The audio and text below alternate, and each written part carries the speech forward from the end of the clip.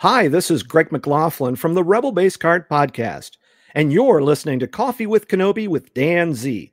This is the podcast you're looking for. This is Hunter. Sorry we're late, Commander. We were putting down an insurrection on Yavik Prime when your com came in. You shouldn't be down here at all. How else are we going to plan an escape? Freeze! Drop your weapons. Blaster beach stick, kid. I'm sorry. I thought this would work. You got us this far, and we're not done yet. This is Vanessa Marshall, Hera Syndulla from Star Wars Rebels, and you're listening to Coffee with Kenobi. Here we are, friends. It is time to finally talk about season three of The Bad Batch. The first three episodes have dropped on Wednesday, February 21st. So we've got to talk about all three of them on one epic show. And if you've got an epic show, you've got to have epic guests. First, returning guest from the Rebel Base Card, Greg McLaughlin. Greg, welcome back to the show, bud. Oh, thank you for having me. I'm also waiting to hear who what epic guest you have. Uh, but at any Oh. rate, it's nice to be here. Uh, your M count is high, and that includes humility. So thank you for that. Uh, another epic guest that we have, you heard uh, him as we looked at season two of The Bad Batch. He's on been on different uh, versions of Coffee with Kenobi over the years. So we had to bring back the one and only Mason Zehr. Mason, welcome back to the show. Thank you so much. It's going to be so fun to go on season three as it was on season two. I agree. Well, I am I am very glad uh, to do this. We've got three episodes. We've got Conflicted, which is episode three hundred one. We've got parts un or sorry paths unknown, which is part two, and then episode three is Shadows of Tantiss. Um, we'll try to break each one down individually, spend a little bit of time on each one, then we can just sort of spitfire from from there.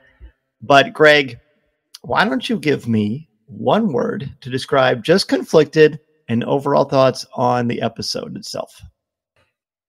I'm going to say on the on the first episode, uh, my one word is going to be time, because now I, I would say a little bit of spoiler because the the great um, roundtable episode you did you did just before, you know, they they talked about it just a little bit. They kind of insinuated it, but I would say I was kind of on the lookout for it. But everything from like the dripping water um, to sort of yeah. like Omega's calendar, um, and then the repetition, right? You know, Emerie's. Um, you know greeting for omega everything kind of like was marking time and i think that was something that we kind of had a lot of questions about as far as like how much time has elapsed between the time that you know like that we ended last season and the time that we were going to see omega in this one but i would just say that is kind of like what they were really reinforcing and uh, i was totally on board Excellent. Uh, Mason, what about you? One word and overall thoughts on the episode.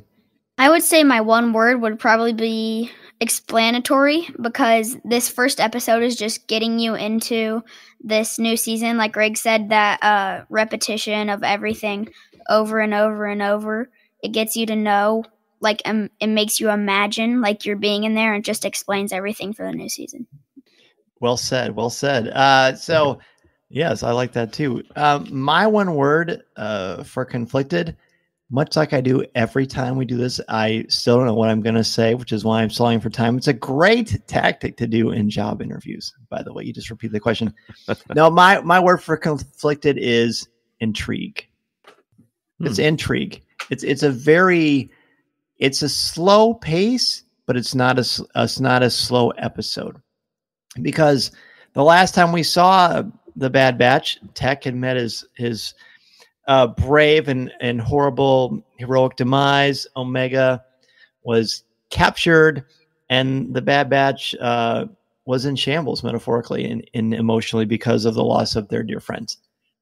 So all we know is that Omega is trapped. Now the life on this prison base, because it is, I mean, it's it's really a scientific lab, I suppose you could say. But Greg, you mentioned the symbolism, the symbolism of water that Richard and Sarah from Skywalking Through Neverland uh, brought up to to Jennifer Corbett and Brad Rau. The Jennifer, of course, being the um, the head writer and the the executive uh, producer, and then Brad Rau is the is the main director and also executive producer of the show. They talked about the symbolism of water. Uh, basically, well, I don't want to say what they said. I hope everybody will listen to the show. But Greg, you talked about it too. What jumps out to you about that, and why do you think it's important?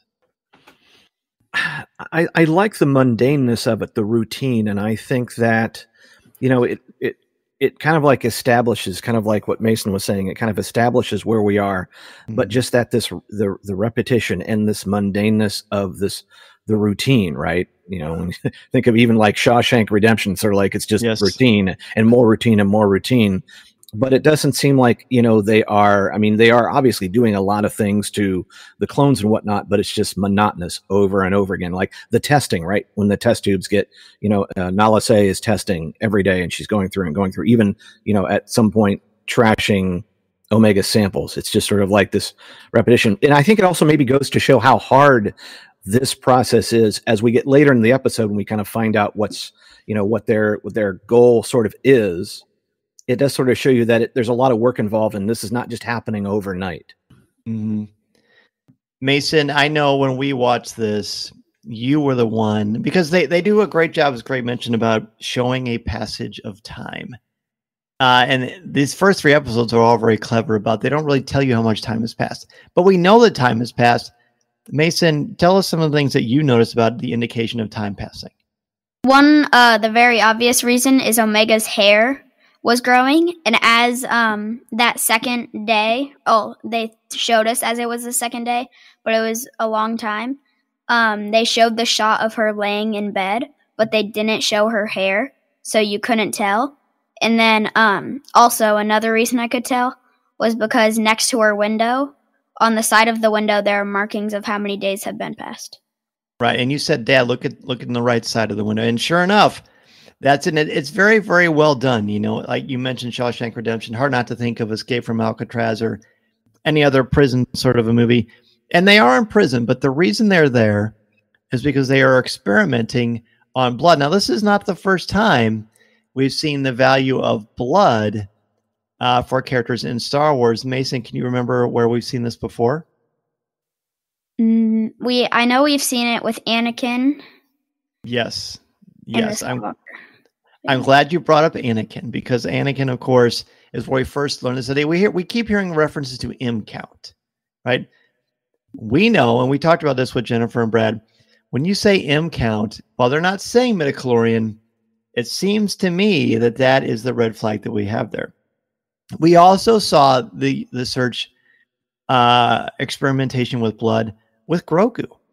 That's why the Empire was after Grogu because they wanted to uh, get samples of the asset's blood, is how they would constantly describe it. So there's some interesting sort of experimentation going on. Uh, Omega goes through the motions uh, with her Omega cheer. Greg, I think it's really cool that Omega, in spite of all this, she's still she's still her. Does that make sense? I do like that fact, and I think you know you know, it's so funny going back to your roundtable episode, and I really recommend people listen to it because when Michelle Ang starts talking right away, you're like, whoa, that's Omega. You know, it's like very mm-hmm. little things that she do, but you know, I, I think it's over and over, and it's it's kind of funny, especially her effect not only on Emerie but on Cross Crosshair as well, right? I mean, we I think we went through the first season of the Bad Batch, and you know, Crosshair was just re- really not having any anything of it, but she just kind of wears down people. I mean, let's talk about the Lurca Hound. Let's talk about Batcher at some point. We um, will. You know, when when is the toy coming out for Batcher? But I mean, she just has this effect on folks that you know you can just see them, and some of some of them are easier; they turn quicker. Some of them it's just a longer burn, but she has an effect, and I I like that persistence, and I think it plays in again to the episode where it's just like you're just seeing this routine and routine, and she's having this reverse effect on on the people on this base. Mason, what what do you want to say about sort of Omega and how she keeps her sanity and and what she does uh, in this episode. I think what she does is perfect. She goes every day and talks to Crosshair, just like updates him on a lot of things. And about Batcher, they should make a stuffed animal of him. I'm sure. I'm I am board. sure Hasbro uh, is all over that. What I like about Omega here, um, we see her when she goes through part of her repetition is she brings this little space tackle box and it's got food inside. It's got little chicken nuggets. That's basically the best way I can think to describe it. um, and underneath it, she's got a little hidden compartment that she puts straw in. And over time, uh, it becomes very, very powerful and poignant why that is. Uh, she built her own version of the Tuca doll that she had on the Marauder.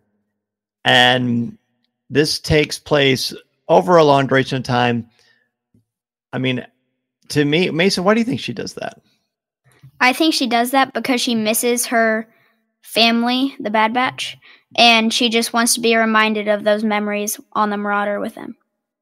And, and I, I, I totally agree with you, and I, and I think this is one of the reasons why we were drawn to Omega, and why I think Crosshair uh, can't help but thaw a little bit around her because she maintains a youthful innocence uh, without being jaded to the world because she can handle herself with a blaster or in an escape or in combat, but she's also very quick to be empathetic to others. And I think it's so integral that we see the ingenuity of her building that little Tuca doll out of straw, which is, is a really lovely kind of a metaphor too, because you know, straw is is used what for warmth, right? For animals, uh, it can be eaten for nourishment. Not that Omega is going to eat it. Um, it's hard not to think about, you know, the New Testament and the birth of Jesus and uh, the baby laying in a manger, most likely on straw or hay. Uh, and then she builds it and, and she's able to maintain some semblance of a personal identity, so much so that she is not allowed to have a personal artifact. She's not allowed to have any artifacts of any kind. So they're taking away, you know, part of her humanity, but they still call her Omega. Everybody else is CT 99, whatever, but she's still called Omega. Do you guys have any theories? I, I mean, I don't know why. Why do you think that is? Hmm. It's a tough one. I mean, you know, one thing I do like also about the doll is the fact it also kind of reminds us that she is still a child in some aspects. Yes. And you know, it just sort of has that, you know, she has hasn't really had a chance to grow up. But I do like the fact that well, even Emerie uh, is called by. So Emerie also does not have you know like a yeah. a CT or a clone designation. Um, but it's it's funny that Omega gets called Omega, yet I think in the early parts, Hemlock is still not quite aware what her potential is or what her purpose is, other than she's important to Nala Se. But right. yeah, as far as like a name, it, it, that is interesting as far as that's concerned. She was the only one, really, other than if there was an alpha at some point that was referred had another name. It's it's very possible. I, I think it's interesting as well. I'm glad you brought up the fact that you have to remind us as an audience that she is still a child, and she wants to hold on to that. Another thing that she does, besides befriending befriending Crosshair and talking to him every day, like Mason said, is she befriends a creature that is I wrote it down. Is it is it a Lurca? Lurca, yes, it's a Lurca, Lurca a Lurca hound. This one she names uh, Batcher. Mason, tell us about Batcher and how she becomes friends with Batcher. I think she becomes friends with Batcher because she feels so lonely in that place. She feels the potential in Emerie and she is friends with Crosshair. And so um, she has those people, but she it feels so lonely with only a few people and how Hemlock treats them and she mm-hmm. just needs more like a person having a pet or like a dog. It's like that.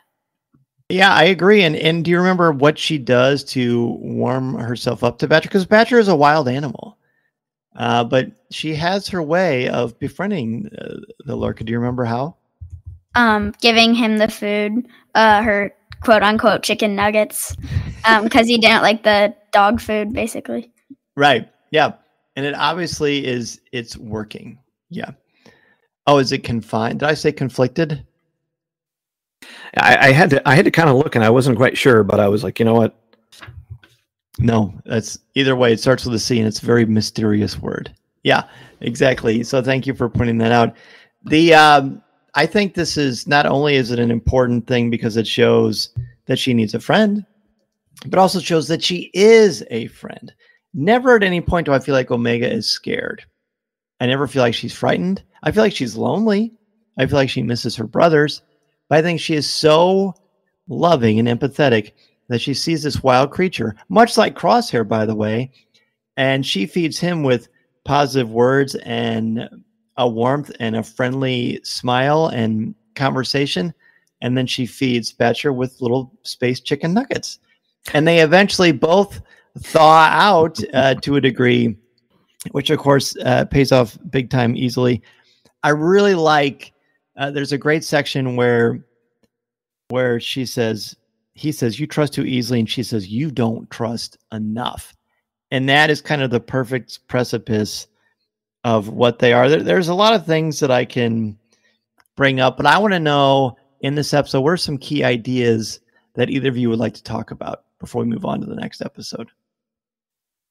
I wrote down um, was it actions always have consequences as one of the lines in there, and I think Hemlock says that. But I, I loved, I really loved some of the lines, and I think all throughout these first three episodes, and there, and I just think you know the writing at this point has gotten so sharp that you know there's not, I mean. There's a lot of meat on this bone. It's it's a very lean meat as well. I think they really, you know, they set up some of these they set up some of these you know episodes and then the, the lines just really deliver Mason? Um, to add on to why uh, they are called Emerie Karr and uh, Omega, not just like CT or some other clone Mm-hmm. uh, initials, I think it's because um, there are only two girls, as we know, and so there's less of them, so you don't need to keep track of them as much Hmm. because all the clones could have the same name, and then that's why they need CT because there could be so many same names. Very good. Very, you continue to pass the audition for taking over as host of Coffee. uh, the um, what I want to bring up is um, Crosshair is is depressed. He's depressed. He he's developed a tick uh, in a way. His hand, his trigger hand, is what shakes. Uh, is it his trigger hand, or is it the one he uses to balance the the rifle? I think it's both, but mostly the one that he balances it with. I think you're right because that helps to steady it because he can still fire, but he can't aim very, very well. Uh, yes, that's true.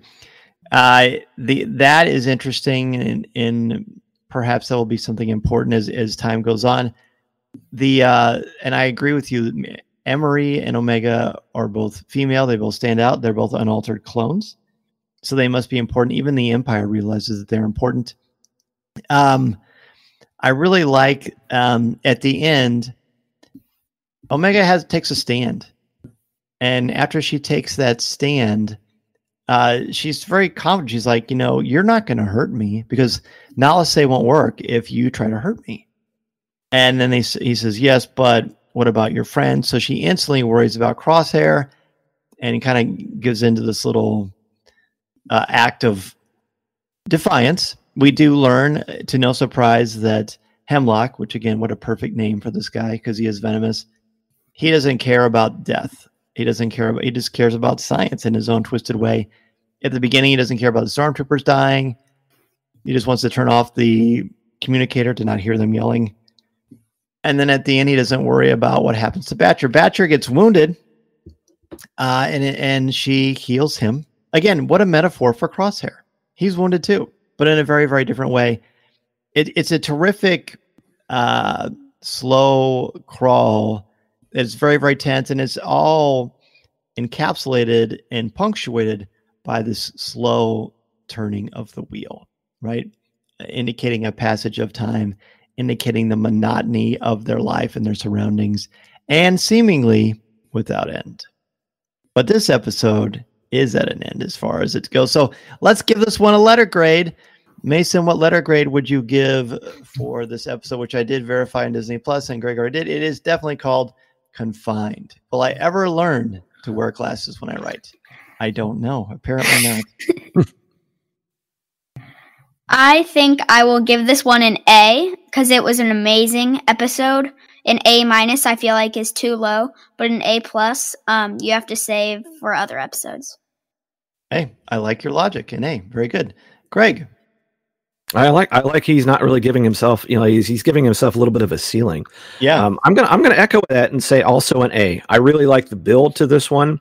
I think it was longer, definitely longer than the second episode, and It maybe is. a little bit of the third. It was about you know 25 plus the five minutes for credits but i really do think i, I like the pacing of it i like the introduction and then like i said i was kind of keyed into you know the one point as far as like by by listening to the to the roundtable but i think that kind of like added to the enjoyment because i was kind of looking for things and you know when you go back and you see like the calendar and it you know it continues you know she's continued to tick it on and, and go through all this i really like the build up and i think they laid a lot of good foundations for the episodes ahead I agree, and, and it's 33 minutes, whereas episodes two and three are 27 minutes. So it, it is a little bit longer. Uh, I'm going to give this one an A plus. It's it's a terrific episode. It's a dynamite debut to season three because it it picks up in in a very uh, suspenseful way.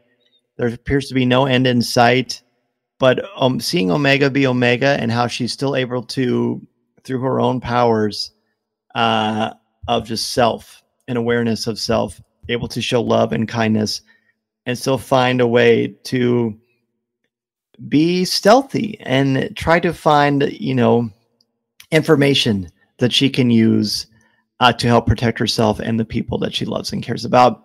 And Crosshair, you know, ever since the end of season two, boy, he he is a, he is a a fallen soldier. He is he has lost all of his fight. He just lays there all the time. You know, he's got the shaky hands, um, but he listens to Omega she is able to give him hope. And it's fascinating.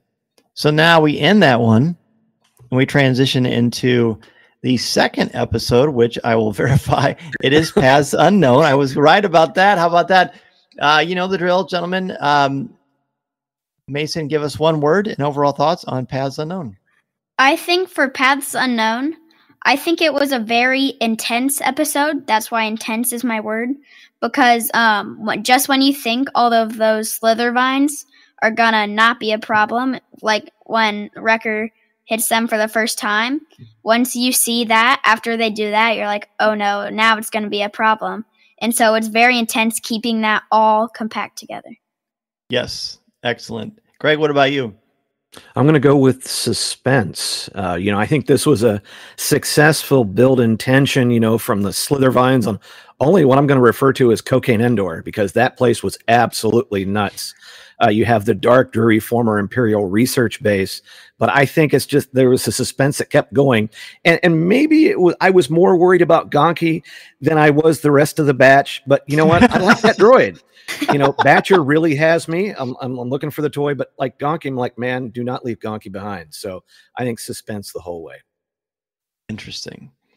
Uh, my word is unfurled unfurled because everything is just sort of um, thrown into our laps. Uh, there is no Omega in this episode. I missed her in this episode. I wanted to see more of her, but the way that the vines very much encapsulate the unfurled wildness of their situation. Um, seeing Hunter and Wrecker try to um, do anything they can uh, to try to retrieve Omega, and then a glorious uh, episodic beginning that shows uh, an, an an aspect of the Star Wars criminal underworld. I think unfurled is is where I'm going to go with this. So let's let's talk about the intro. I, I love the intro. We've got uh, Roland, who I believe was from season two, right? Or is he season one? I can't remember, or at least one similar to him. I just I remember him working with uh, Omega, and there was something in Cid's. Yeah, because he takes over Cid's uh, right. bar at one mm-hmm. point, and I right. it's either but, late one or but two. But they don't seem to recognize one another. One, not sure. You can I, on Disney Plus. Yeah, I'll look it up. I'll look it up while you guys are talking. But uh, he, um, it's it's Roland. He is goes into this throne room. This the animation in the layout of this is absolutely gorgeous. Absolutely gorgeous. Lady Durand, whose first name is Isa, I S A is the one who's in charge of this crime family. And then uh, we get to see the, sort of uh, echoes of Jabba the Hutt in Return of the Jedi, where someone accuses them of what does he say? Losing their edge. What does he say? Or they but they have traitors in their house. Does anybody remember what they said? Oh yeah, when the captain is is on trial and then he's really kind of calling everybody out, thinking it that went soft. And of course, when Lady Isa, you know, it's like going to the crowd, it's like, do we look soft? And by the way, Anjelica Huston, hello. Um, I I had when I listened when I watched That was this her? again, I was blown away. Yes, I had to No go back way. and, and uh, yeah, because the, the voice was like, wait a minute, I recognize that. Such a commanding voice, oh my god, which I mean, makes sense. I wish kind of the whole episode was was this mission, but I'm I like. I, I love I love the detail on this. It, it's really really cool, and and you, we see that Wrecker and Hunter are working as mercenaries because they they were able to retrieve the Pyke and the horn to to show who had wounded Roland. Isn't it interesting? I find this really. Um, I need to. I want to talk about this some more at some point. Maybe not on this show, but there are certain species in Star Wars that are they're often stereotyped. All the Pykes are bad, right? It was in any Pykes that are nice. No. All the Twi'leks are objectified. Right? I just find that interesting. The Pykes, when we see Pykes, we're supposed to assume, oh, they're criminals. And they always are. I just think that's uh, important to just kind of point out to a degree. Mason, anything you want to say about the opening sequence? I think it was very interesting. Um, just like you guys said, it's just like Jabba from Return of the Jedi.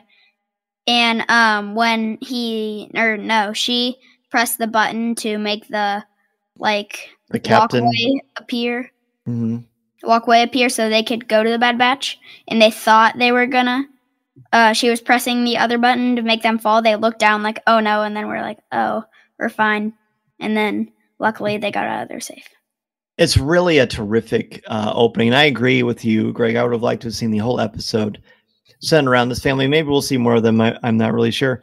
But the bulk of this episode takes place on a planet. Anybody remember the name of the planet? Do they share the name of the planet?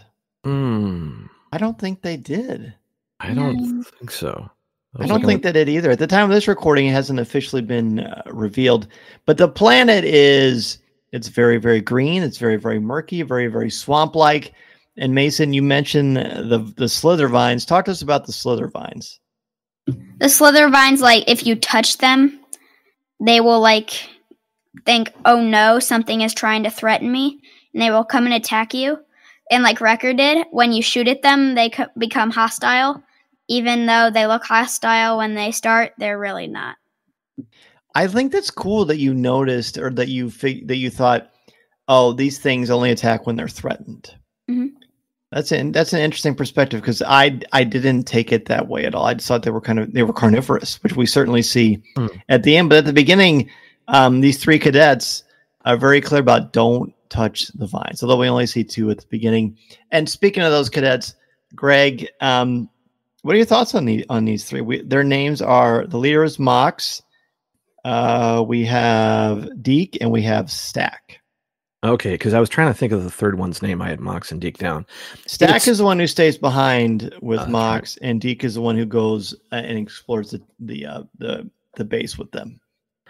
I think it's interesting that they picked, you know, these sort of like, you know, teenage clones, for lack of a better word. So it's it's not, you know, I, I think we in the Clone Wars we saw like younger versions of Boba and those kind of ones, but these were sort of mm-hmm. like a little older. And you know, it was interesting because we hadn't really seen it was kind of something we weren't expecting. You probably would have expected to see some haggard haggard clones like you've seen in in, in previous episodes but you know you kind of get that tie into what the base was and so i think they they add a little bit of flavor to and rather than just you know you find that and oh we happen to have a console that powers up. So i think they kind of add that and also they're allowed to have a bit of an arc because they talk about loyalty and you know they they have a little bit of you know of conflict as far as like should we just take their ship and go? Should we help them out? And i like the fact like i respect you know like so it's, you're kind of seeing them grow as well in a very short time. You have to wonder are they planting seeds for later? They're obviously they went to babu so you know uh, uh, maybe they have a part to play later like i said i was enticed by the Pykes but I- i'll stick around for these three Yeah, yeah. Um, Mason, fair to say we we we watched this thing a couple of times before we recorded the show. Uh, how did you feel? I know at first you were not sure about this episode. Uh, kind of talk about how you felt the first time you saw it and then how you felt second. And it's okay if it's exactly the same. When I watched the this episode, Paths Unknown, for the first time, uh, the intro I thought was okay. I didn't pay much attention to all the detail in it, and then the rest, basically, I just thought, oh, this is just the same thing um, with all the slither vines. And then when I watched it for the second time, I paid attention to the intro, and I thought, wow, this has a lot of detail to it because when he threw the horn from, uh, what's his name? Uh, Roland? Yeah, Roland. Mhm.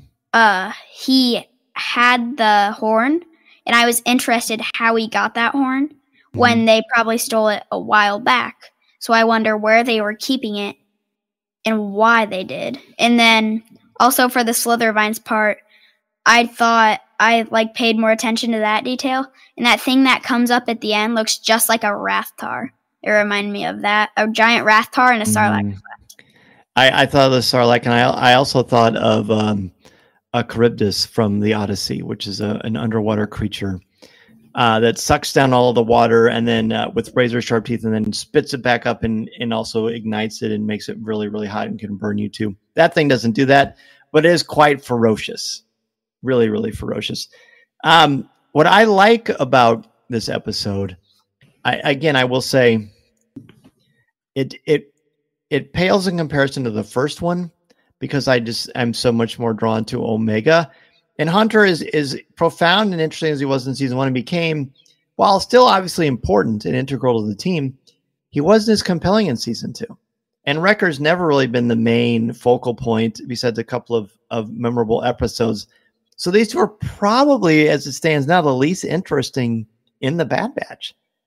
Uh, and I and but even when with them, they're still great, and I still watch a series with them over any just about anything else. So it was a bold choice, but an important choice because they both have very strong personal connections with Omega. Hunter is the most the closest to a father that Omega has, and Wrecker is like this doting, loving, big, strong older brother. And I, I love that. And then we get the intro of the cadets. The cadets, if I'm not mistaken, are voiced by Daniel Logan Oh wow. which is great, and you can tell it. I like the introduction of three cadets, um, but what did the what did the both of you think about the cadets as far as like what they added to the story? Uh, what did we learn about Hunter and Wrecker because the cadets are even there? You know it, it's interesting because they do start to kind of they they give a little bit of background to hunter and wrecker of what hemlock was doing you because they talked about you know sampling blood blood as they're you know they're trying to find out that they said they didn't see omega Mhm. because very she could have been there you know we didn't really quite know how you know like how she you know, got to you know, a to b and i almost don't know like how long this base has been in this fashion. So Right. it may not have been that long. And you know the or, the orbital bombardment or was it the delta zero? They delta zeroed their own base. I had i had to pause that a couple of times to like what what does that mean? But you know it, it is kind of interesting that they they do add a little bit of exposition to to that. And so it's just not you know Wrecker and hunter on there and going oh yeah by the way vines and so i, I like that they add a little they're they, they kind of help us out along the way to kind of give you an idea because essentially you know hunter and Wrecker, they we have to have them this is a functional episode they have Yes. to they have to start somewhere they have to kind of hey this is what we're doing this is what our on our way for um, but they can kind of they, they still have the luxury of all these extra episodes that they can kind of sprinkle in without having to dump everything on us at once Right. And uh, Mason, anything you want to add to that? Um, I think they add a lot to the story, especially when uh I think it is Mux and which Mox, M O X. Mox is a leader. Radik is the one that hangs out with them. And then um, Stack is the one who wants to take the Marauder and then changes his mind. Mm, Mox and Stack when they are in the Marauder. When Mox looks, I think it's Mox, not Stick. Mhm. Yeah, it's Mox. Yep. When he looks at that doll that she was making out of the straw Mhm. from uh that place where Hemlock the original Tooka doll, yeah. Huh? He looks at that Tooka doll and he thinks, oh, they really need this member of their squad, and he was telling uh, Stack, I really respect that. We should help them. That's an excellent catch. And I actually missed that the Mhm. second time because I was writing something down. Yeah, that they they start the episode with the Tooka doll and they end it with the Tooka doll because again, it's a reminder, which is a really nice callback to the to the last episode, as far as like this child of ours is missing. She is kind and loving, and this is a symbol of her innocence, and we must keep that fresh and intact. So they they do. Uh, there's really not much to say about the action sequences except that it reminded me of of uh, Aliens or Alien, Jim Cameron uh, or Ridley Scott's uh, great horror flicks, space horror flicks uh, with the vines. They almost remind me of the Drengir from the High Republic, but I don't think it is the same kind of alien. And almost wonder if they're sentient because they're able to kind of pop up and have legs and run around. Maybe that's just kind of a survival or a predatory technique. The ending sequence with all the grenades was spectacular. And then Hunter saying, make your own path at the end was cool. I think it was great to see them with younger clones. We've never really seen that for an extended amount of time. Uh, there was a lot of great male bonding, and I hope we get to see these three again because I thought they added a lot uh, just to showing again the human side of the Bad Batch and the fact that they are, as for as great and powerful of warriors and as clever as they are and astute, they're even they have even bigger hearts, and that's very very nice to see. And then they're unlike the Jedi, they can fully embrace that aspect of themselves because there's no code saying they shouldn't. Uh, any last minute thoughts on this, or shall we give our letter grades? I love once again another quote. You know, when Hunter goes, "Our mission's not over yet." Mhm. Uh, I like it was a nice way to kind of end that. And yeah, I mean, I, when I was watching back the second time, kind of hanging on that last scene, it was it was really nice, and I, I like the I like the handshake because you know if you think That was about cool. like how the clones have treated you know Clone Force ninety nine, and these guys knew that they were 99s, right? Yep. And so it was kind of nice to go. All right, there is a little bit of change of heart. And uh, you know, maybe maybe more tortured clones will actually go, "Hey, these guys are actually all right." Yeah. So they must not have their. Didn't they say they removed their chips? Did they say that? Ooh, I didn't catch that. I don't remember. I don't. Maybe they don't. Maybe they don't. Maybe. Maybe. It's Who knows? just since they were younger, maybe they, they- didn't do that because they wouldn't add much of a greater stance on the new empire or new republic. Yeah, I agree. Uh, and and they do say, hey, the other our other clones left us behind and That's right. or or attacked us because they said they were following orders. So yeah, so maybe they just didn't have them. Interesting. All right, uh, letter grade and and uh, on the episode before we move on to uh, Shadows of Tantiss. Mason, why don't you start? My, my letter grade is an A minus. I think this was an amazing episode Oh, with um, that amazing intro, uh, bringing you in kind of like a hook in an essay, Oof. and it's bringing you in there. and I think the other episodes were also amazing, but I would give this one an A minus. I'm so glad because you've really you've really changed your stance on this one, haven't you? Yes, I have. That's so cool. Was there a certain reason why, or just gonna hit you better the second time? I paid more attention in details and the details of the dialogue and what they were trying to say, and it had a lot of meaning inside of it.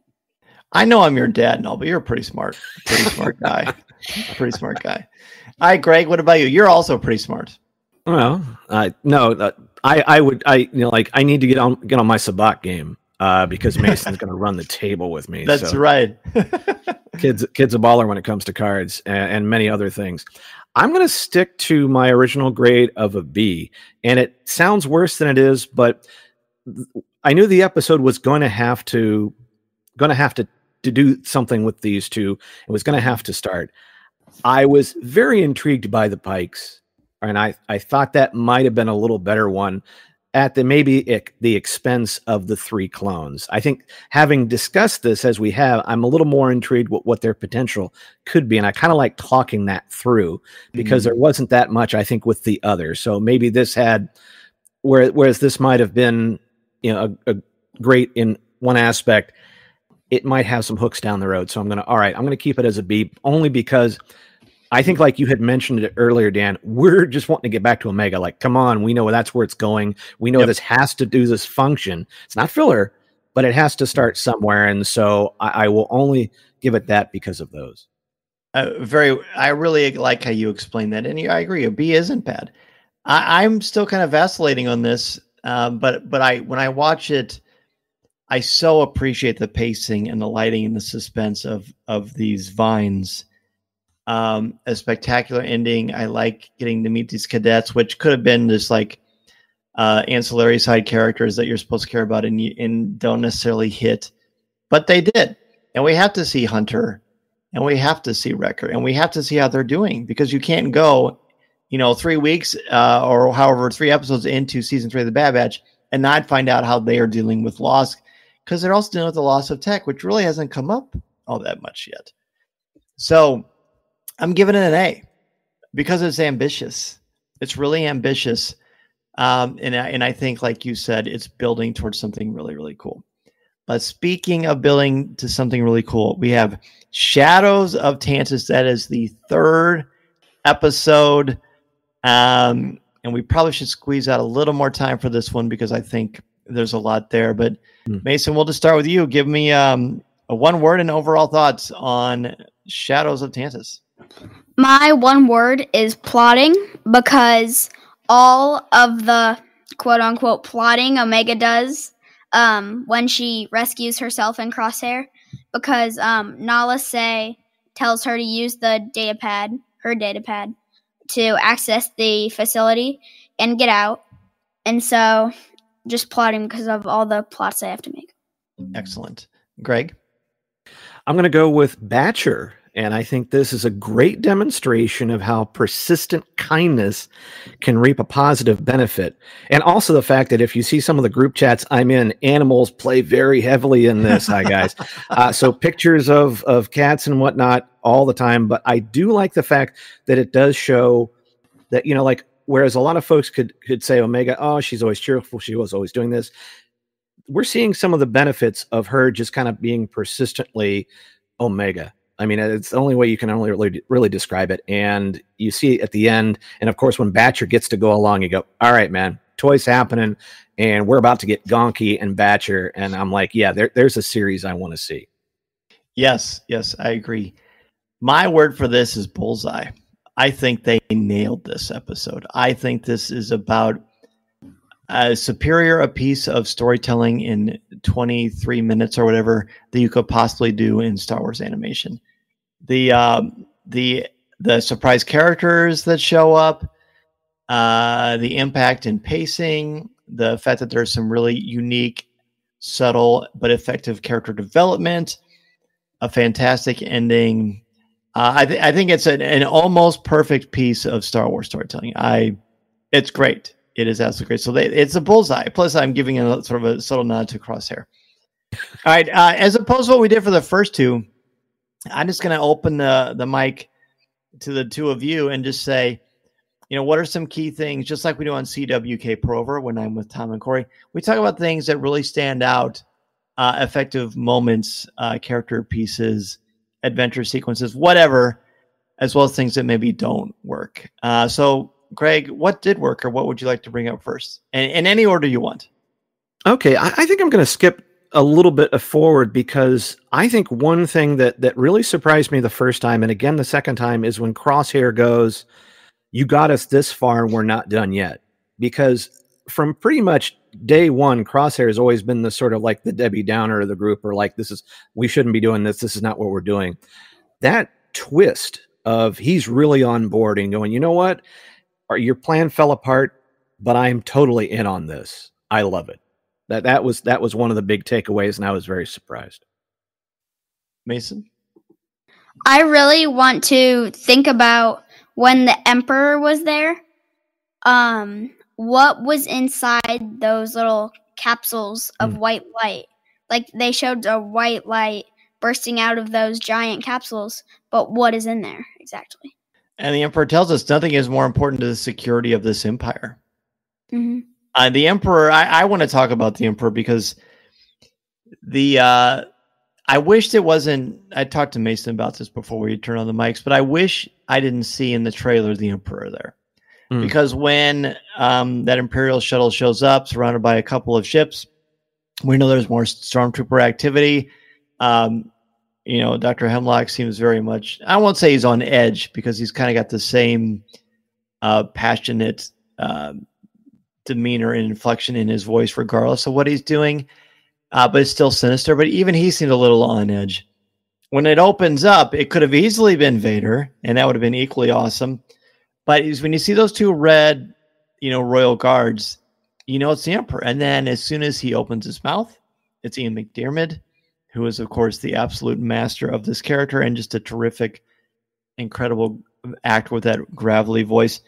That entire sequence was so lovely. And it, and it, it didn't feel like a gimmick to say to people, oh, look, we've got somebody from the original trilogy in here.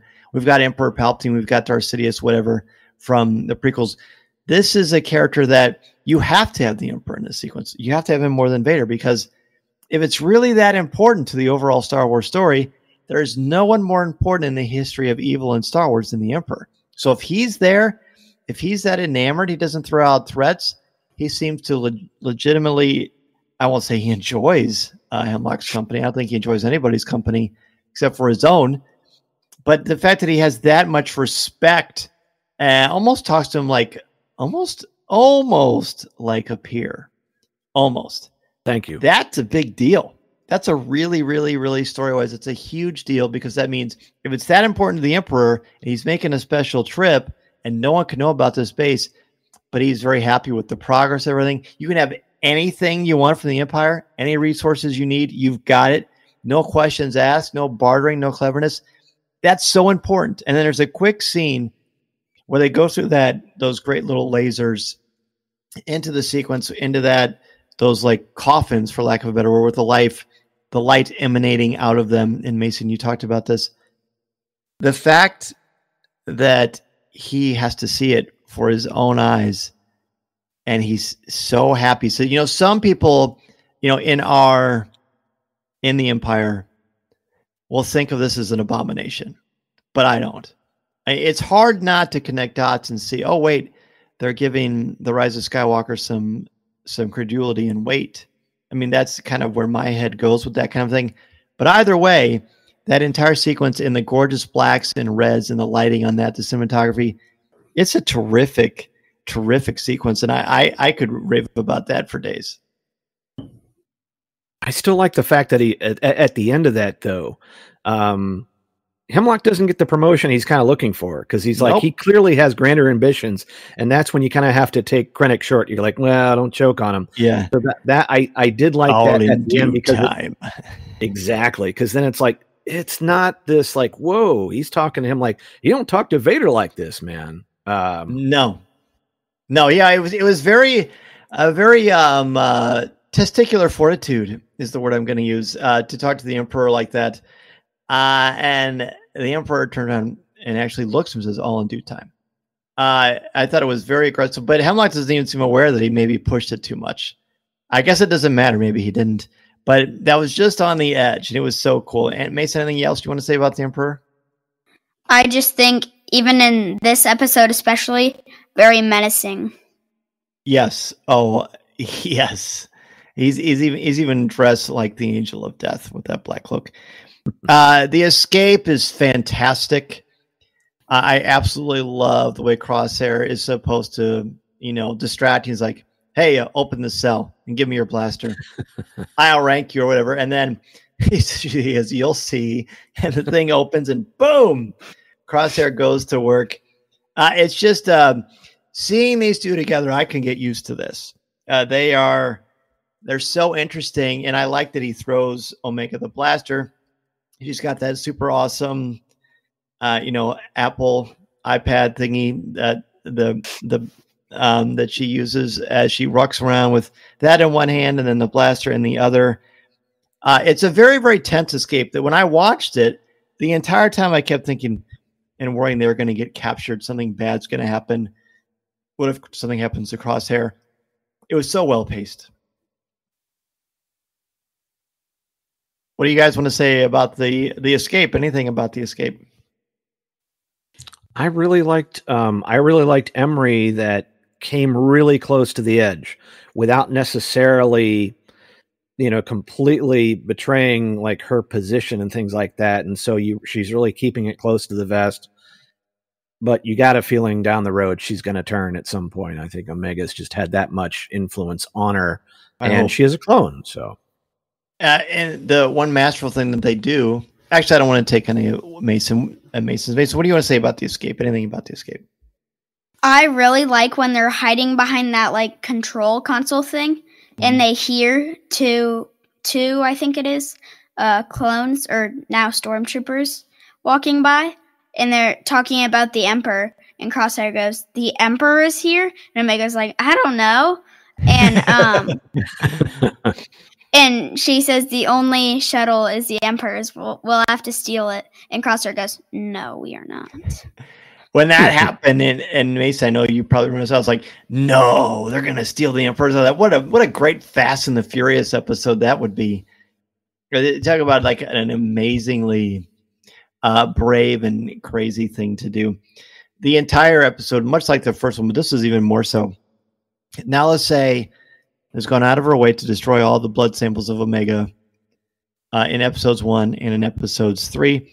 We find out this project is called Project Necromancer, which tells you all you need to know because of necromancy and the animation of the dead and dead tissue.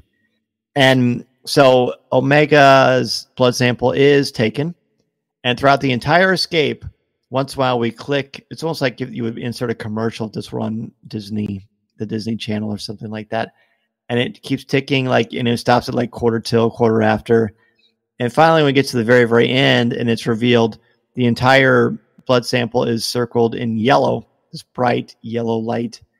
Uh, and then we found out it's a perfect match with the M count with no deterioration of the sample itself. So, yet again, we find out the blood is important.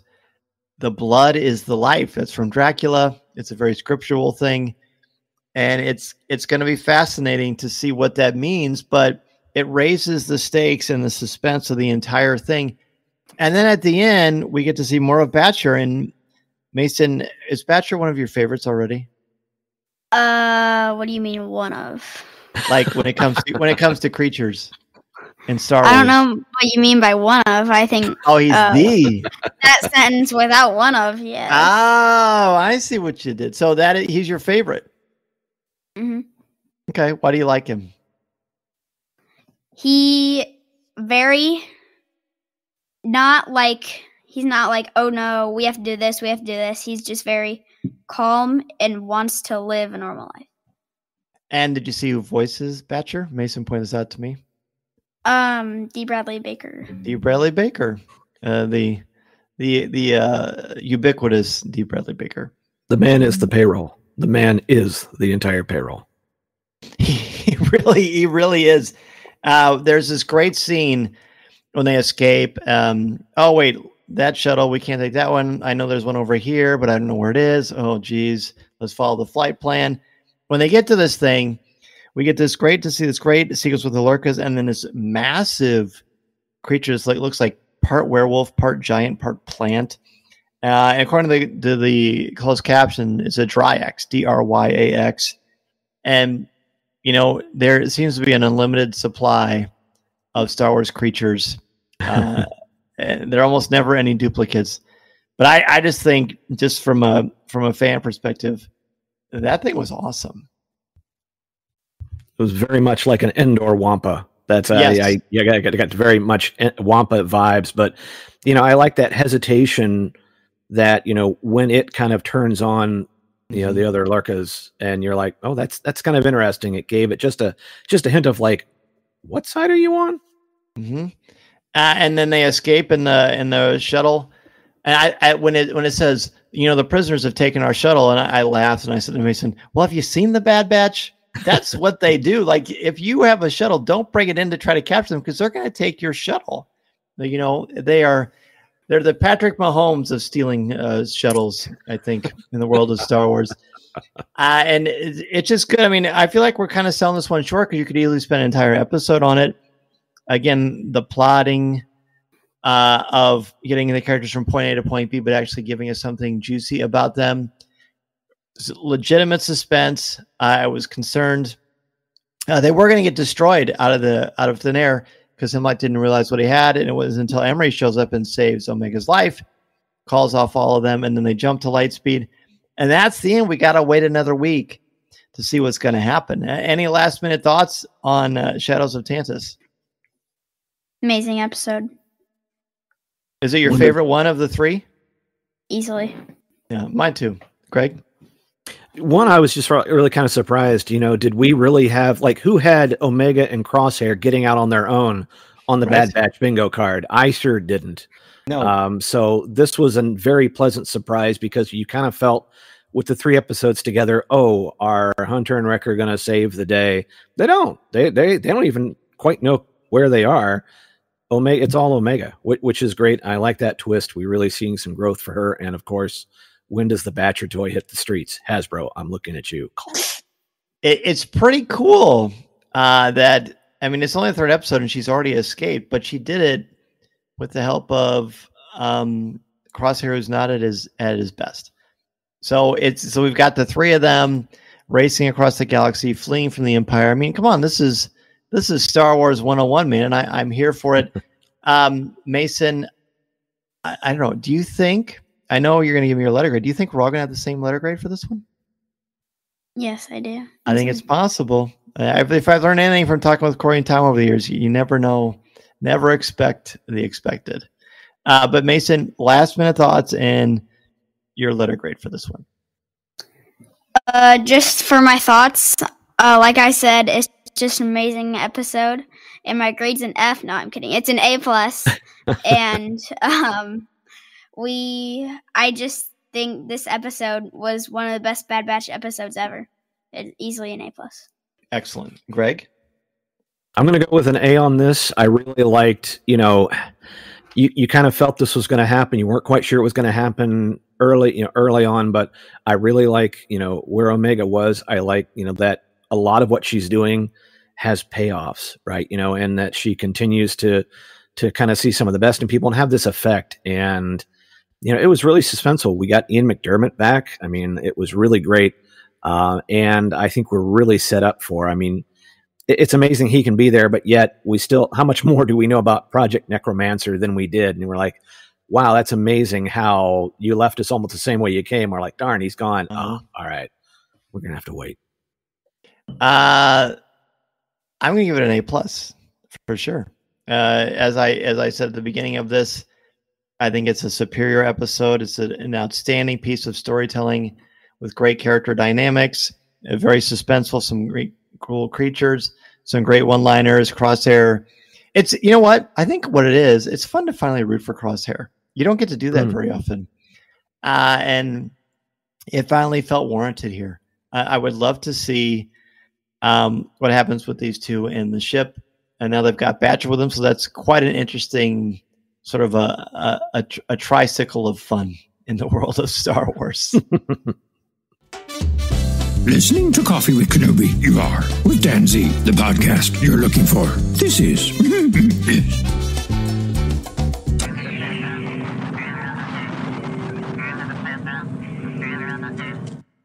Well, this little tricycle of fun has come to an end, but I want to thank you both so much for joining me uh, to talk about the first three episodes of Star Wars Season Three of the Bad Batch. Not only for your time and your and your interest and your level of analysis, but also for telling me what the names of the episodes are. That's that's pretty important too. Uh, Greg, please let everybody know what is going on with your with your fabulous podcast, Rebel Base Card. Oh, thank you. Um, yeah, we're just getting ready. Greg Cass and I will be you know, discussing more on the Bad Batch later on in the week, and kind of excited because that was the episode. You know, that was this is the program that kind of brought us together, and it was a great way to kind of branch out and try something new. Right? I'm all about you know collecting, talking to you know collectors, people who do cards, people in the community, and this was this was something that we wanted to try to find. Not only you know, like, could this work? Could we keep doing it? I mean, it, these are long seasons. But it was really fun, and then we get to bring people in. You, you know, you've been on before, and it, it's really fun to kind of do a, do a, a slightly different take, um, a, a, complimentary one. But it, it's just really fun. It's I think it's made doing the podcast, you know, in, in, in getting into about year six now.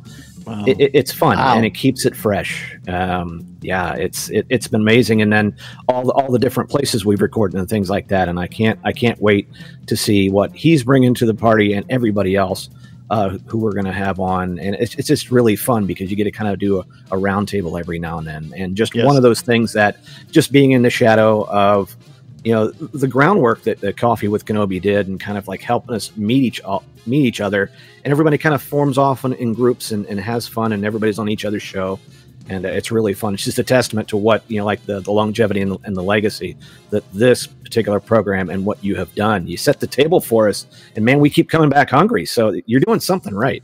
Uh, you're, you're very kind. You're you're you're just um you're a good man and very kind. I appreciate that very much. Uh, looking forward to it, buddy. I, it's always a highlight to hear the two of you. The, Greg squared, nothing like it. uh, Mason, um, you uh, can be found occasionally on CWK Live and um, uh, shooting three pointers on the basketball court. Am I correct? yes. Yes, very good. Well, I want to thank all of you so much again for joining us as we talk about the first three episodes of Star Wars Season 3 The Bad Batch. Expect to hear from us every single week, and please let us know what you think some of your favorite moments are. We've got a top 10 next Tuesday because we've got three episodes to talk about. So we've got a top 10 of your favorite moments from the first three episodes of Star Wars Season 3 The Bad Batch. This podcast is not endorsed by the Walt Disney Company or Lucasfilm Limited. It is intended for entertainment and informational purposes only. The official Star Wars website can be found at www.starwars.com. Star Wars, all names, sounds, and any other Star Wars related items are registered trademarks and or copyrights of Disney and their respective trademark and copyright holders. All original content of this podcast is the intellectual property of Coffee with Kenobi unless otherwise indicated. This is the podcast you're looking for move along.